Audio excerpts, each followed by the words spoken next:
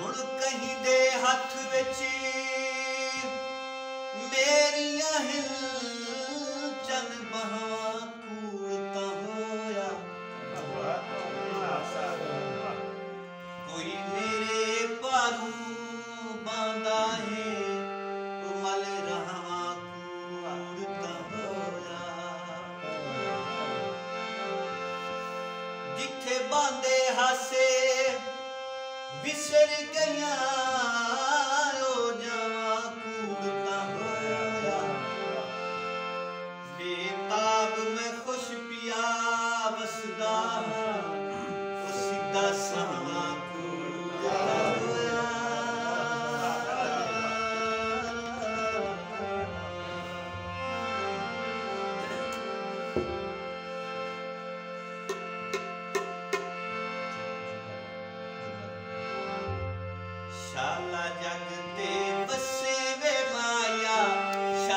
Thank you.